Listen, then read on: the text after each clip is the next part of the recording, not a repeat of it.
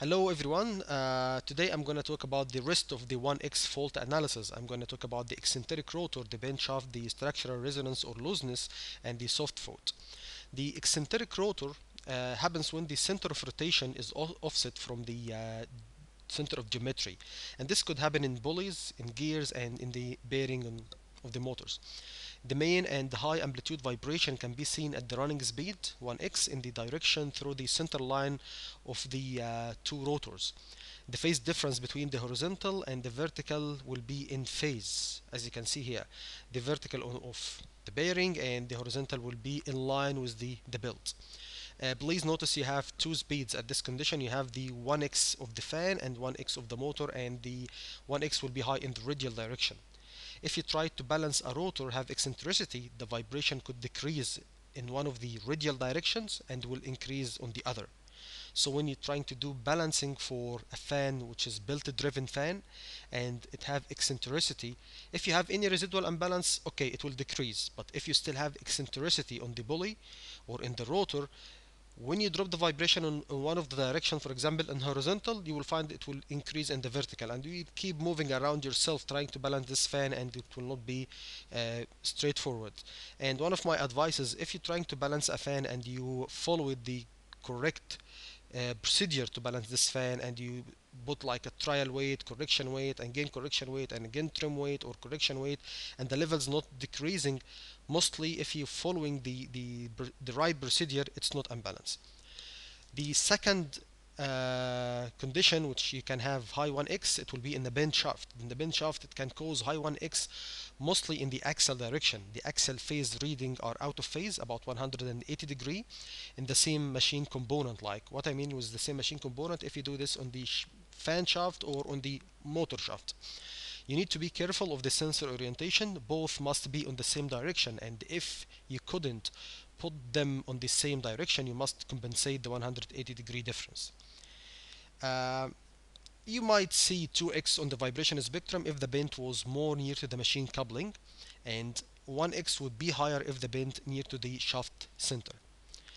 Uh, also you can see high 1x in the structural looseness or resonance you will see uh, high amplitude 1x vibration on the uh, radial direction mostly in the horizontal direction because it is the most flexible direction.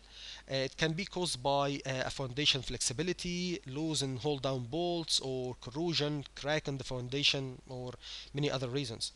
Uh, it will be out of phase 180 degree between the moving and the stationary stationary part and for example uh, if you measuring the vibration on the base of the motor itself and on the foundation you will find the out of phase about 180 degree because of the cracks. Uh, as a result of structural resonance or cracks. ODS and the motion amplification can be used to confirm uh, the maximum deviation uh, location. Uh, also, if you do balancing, trying to balance such uh, a machine, you might reduce the amount of residual imbalance, but you still have high vibration at the running speed 1x because of the flexibility. This is a screenshot uh, from one of the ODS jobs I, I did. If you see this black the bold uh, black uh, lines. This is showing the the moving of the um, of the foundation or the base of the machine and the purple one is the real or original location. The levels is magnified just to show you how, how much it is moving. Also you can see high amplitude 1x on the soft foot yes in the soft foot condition you can see twice line frequency uh, and uh, this happened because of the uh, soft foot cause air gap variation and uh, it cause uh, rotor eccentricity. But you can see also high amplitude 1x if you have soft foot and the best way to check this uh, by the way you can see it on the radial or axial direction and you can do the check this by doing soft foot dynamic testing which is a very good way to confirm the fault you can lose one of the hold down bolts one by one and collect live vibration data and monitor the change on the vibration level.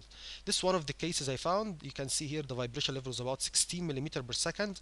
Uh, we use the spanner to lose one of the hold down bolts on the on the motor and when we lose it the vibration level dropped from 16 to 6.5 millimeter per second on the running speed and then we when we revise the machine alignment levels drop from 6.5 to 1.35 so soft foot is really you can see it as 1x you can see this on the radial or axial direction.